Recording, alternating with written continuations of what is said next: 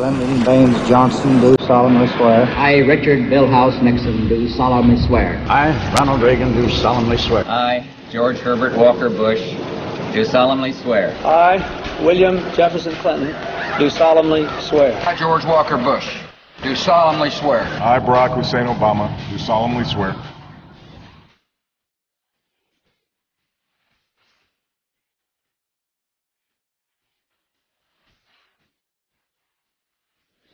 My duty to the American people to report that renewed hostile actions against United States ships on the high seas in the Gulf of Tonkin have today required me to order the military forces of the United States to take action in reply.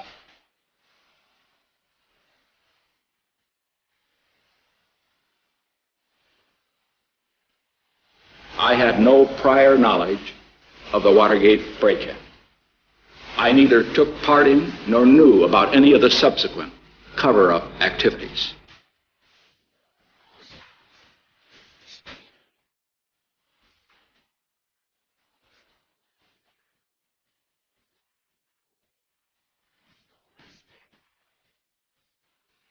The charge has been made that the United States has shipped weapons to Iran as ransom payment for the release of American hostages in Lebanon.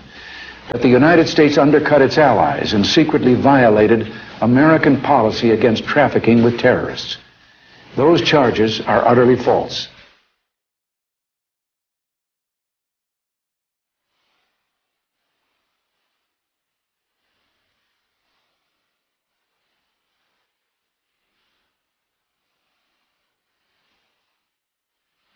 As long as there is breath in this body, I will speak and work, strive and struggle for the cause of the Nicaraguan freedom fighters. Freedom fighters, they are not. They are terrorists.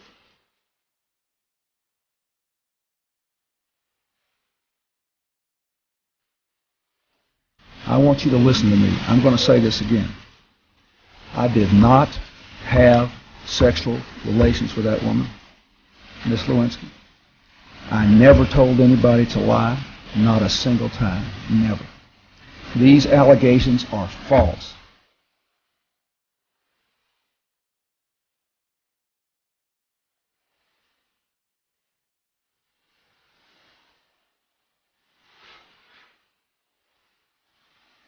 The British government has learned that Saddam Hussein recently sought significant quantities of uranium from Africa.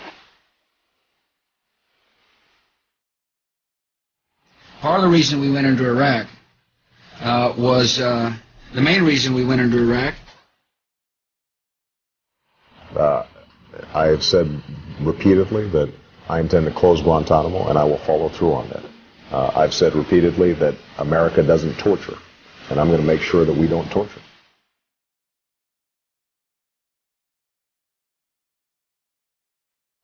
And I'll finally end the abuse of no bid contracts once and for all. The days of sweetheart deals for Halliburton will be over when I'm in the White House. We'll finally end the abuse of no bid contracts once and for all. The days of sweetheart deals for Halliburton and the White will be over when I'm in the White House. The way Bush has done it over the last eight years is to take out a credit card from the Bank of China in the name of our children driving up our national debt from $5 trillion for the first 42 presidents. Number 43 added $4 trillion by his lonesome, so that we now have over $9 trillion of debt that, that we are going to have to pay back. $30,000 for every man, woman, and child. That's irresponsible. It's unpatriotic. I am absolutely confident uh, that we can choose our own economic destiny. We can choose another four years with the same reckless fiscal policies that George Bush has implemented, taking our national debt from five trillion to over nine trillion dollars in the span of ten, uh, eight years, uh, mortgaging our children's future on a mountain of debt, or we can restore some fiscal responsibility in Washington. We can, yes, we can. I mean, the debt ceiling, that's a, that's a formality. historically, this has not even been an issue. It's an unpleasant vote, but it's been a routine vote that Congress does periodically. The truth is, is that uh, compared to other countries around the world, our deficit problems are completely manageable. And I could not get uh, Republicans to go ahead and say, you're right, we're going to put country ahead of party. We should do is raise taxes on the middle class. You will not see your taxes increase one single dime. You will not see your taxes increase a single dime. I repeat, not one single dime. Under this mandate, the government is forcing people to spend money, fining you if you don't. How is that not a tax? Because when I'm president, meetings where laws are written will be more open to the public, no more secrecy. That's a commitment I make to you as president. I'll make our government open and transparent so that anyone can ensure that our business is the people's business. But these negotiations will be on C-SPAN.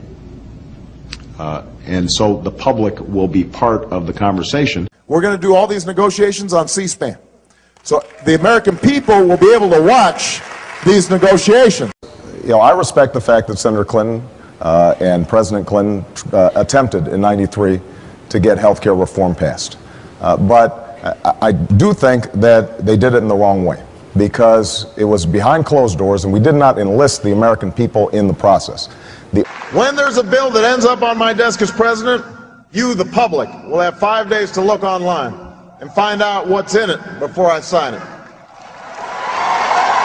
So that you know what your government's doing. When Let me say it as simply as I can. Transparency and the rule of law will be the touchstones of this president.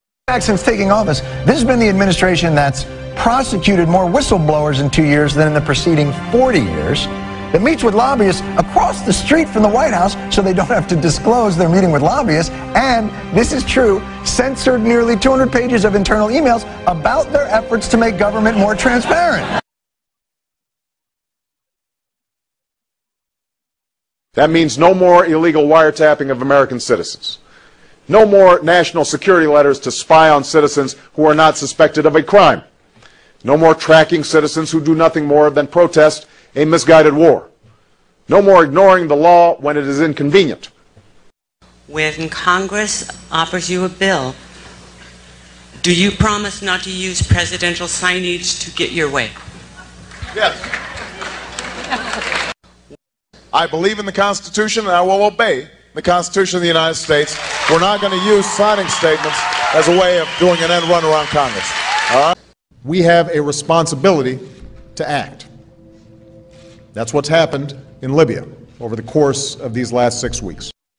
The biggest problems that we're facing right now have to do with George Bush trying to bring more and more power into the executive branch and not go through Congress at all.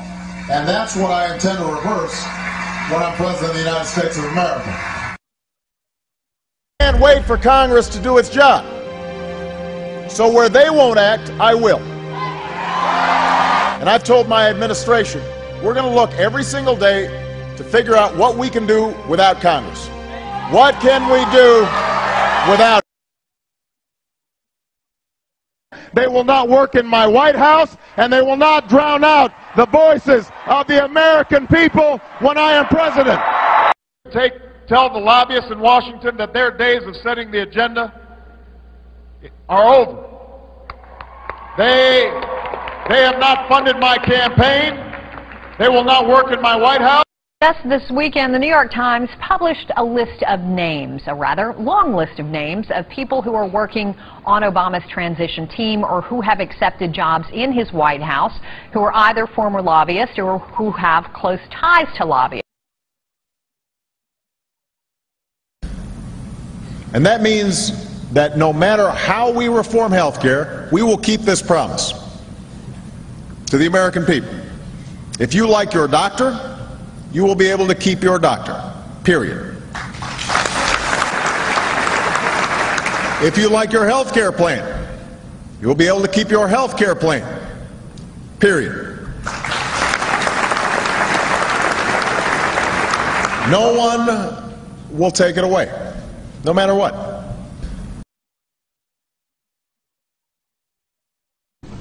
Under my plan uh, of a cap and trade system, electricity rates would necessarily skyrocket. I think it is important for us to send some price signals to change behavior. Americans like to drive their big SUVs.